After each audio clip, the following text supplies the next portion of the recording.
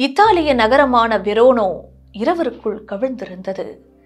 காபுலத் பிரபுவின் வீட்டில் நடக்கும் இசை கச்சேரியை பனித்துகள் உறைந்த ஜன்னலின் வழியே வானத்து நட்சத்திரங்கள் பார்த்து கொண்டிருந்தன.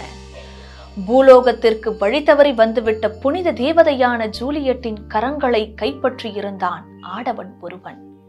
அவனுடைய முகத்தை மறைத்த துணியை விலகச் சொல்லி முன்னூறு முறை இறைவனிடம் மன்றாடினாள் ஜூலியட். ஆகட்டும் பார்க்கலாம் என்றான் அந்த ஆடவன்.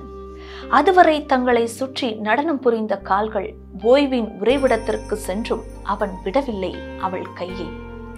மதுவின் மயக்கத்தில் இவள் வீனஸ் தேவதையா என்றான் ஒருவன். ஆயிரம் ஆண்டுகளுக்கு ஒருமுறை பூக்கும் அற்புத பூ என்றான் மற்றொருவன்.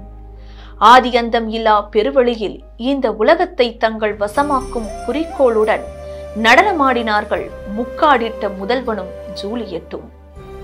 கச்சேரிக்குள் காட்டாற்று போல பரவியது அந்த செய்தி.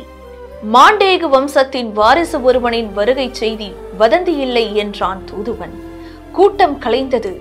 நடுங்கும் குளிரில் நடந்து செல்லும் மக்களை மாடத்தில் இருந்து கண்காணித்துக் கொண்டிருந்தாள் ஜூலியட் கரம் பிடித்தவனின் உடல் சூடு இன்னும் உள்ளங்கையில் மிச்சமிருந்தது. முக்காடிட்ட முகம் இதயத்தை இயக்கிக் கொண்டிருந்தது. மூன்றாம் பிறை எப்போது முழுநிலவாகும் என்னும்போது அவள் நெஞ்சு ஏறி இறங்கியது. இரவு தூக்கத்தின் மஞ்சம் என்ற நினைப்பே எரிச்சலூட்டியது. வெரோனாவின் ஏதோ ஒரு தெருவில் அவன் தனக்காக நின்று கொண்டிருப்பான் என்ற ஜூலியட்டின் எண்ணத்தை பொய்யாக்க கூடாது என்பதற்காகவே தூரத்து இருளில் நின்று உப்பரிகையை உற்று நோக்கிக் கொண்டிருந்தான் ரோமியோ. கைகளை தந்தவளின் கன்னத்தை தடவாமல் வந்தது அவனை வாட்டியது. இத்தாலிய குளிரிலும் இவனுக்கு வேர்த்தது. அங்கே சீனத்துப்பட்டு மெத்தையில் தலையணையோடு போர் புரிந்தாள் புனிதி. இருவரும் தூக்கத்தை தொலைத்தார்கள். வலிய மனிதர்களின் கட்டளைக்கு காதல் என்றுமே கதவு திறந்ததில்லை. உள்ளங்கள் இடமாறுவதற்கு முகங்களே அவசியம் இல்லாத போது முகவரி எதற்கு?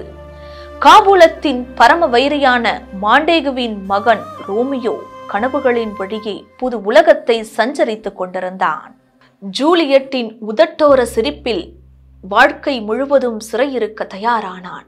வரலாறு முழுவதும் காதல் இப்படியான வினோத முடிச்சுகளை போட்ட வண்ணமே பயணித்திருக்கிறது.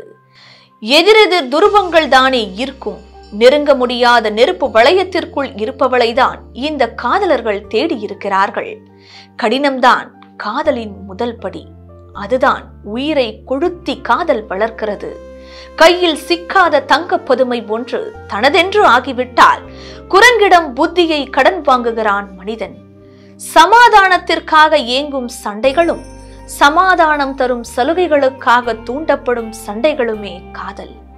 கடந்து போகும் ஆயிரம் முகங்களில் அவள் முகத்தினை மட்டும் கண்ணிமைக்கும் நேரத்தில் கண்டுபிடித்து விட வைக்கிறது காதல்.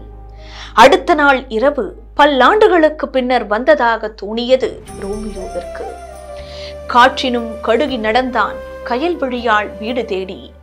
வானத்து நில ஒன்று உப்பரிகையில் உட்கார்ந்து கொண்டிருந்தது. தனக்கானவனின் வருகை அவளுடைய சிந்தையை வதைத்தது. சுவரோரம் பதுங்கி வந்த ரோமியோவை பார்த்து பூக்களின் மொழியில் புன்னகைத்தாள் ஜூலியட் காட்டுக்கொடி ஒன்றின் மீது கை வைத்தே மேலேறினான் காதலன். பதட்டத்தில் துடித்துக் கொண்டிருந்த அவளது உதடுகளுக்கு தன் உதட்டால் ஆறுதல் சொன்னான். இரவு ஆயிரம் கால்களுடன் இத்தாலியை விட்டு நீங்குவதாக இயற்கையை வசைப்பாடினார்கள். காதுகளுக்கு ரகசியம் சொல்ல சென்ற அவனுடைய உதடுகள் கன்னத்தில் கால் பதித்து நின்றன. இந்த ரகசிய பரிமாற்றங்கள் நாள்தோறும் நடந்தன. பகலெல்லாம் தூங்கி இரவெல்லாம் இருட்டை வெறுத்தார்கள் இருவரும். எத்தனை நாள் இந்த வேஷம் என்று மார்பில் முகம் புதைத்து அழுதாள் ஜூலியட் கொலைகார ஊரில் ஒரே நல்லவரான லாரன்ஸ் பாதரியாரிடம் காதலை போட்டுடைத்தான். இரு குடும்பத்திற்கும் உள்ள பகையை தீர்க்க பகடை உருட்டினார் பாதரியார். அடுத்த நாள் இரவில் நிலவும் தூங்கும் பொழுதில் இருவருக்கும் திருமணம் செய்து வைத்தார் லாரன்ஸ். அவரவர் வீடுகளுக்கு திரும்பிய மணமக்களை பார்த்து விதி சிரித்தது. இரவிற்கு மட்டுமே தெரிந்த விஷயம் காபுலத் பிரபுவின் காதுகளை எட்டியிருந்தது. காபுலத் விசுவாசி ஒருவன் ரோமியோவை வாளால் வழிமறித்தான். உயிர் அவளிடம் இருக்கும் தைரியத்தில் வாழ் வீசினான் ரோமியோ.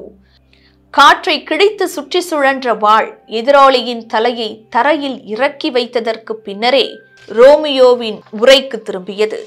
களவற்ற காற்று பலமாக வீசியது.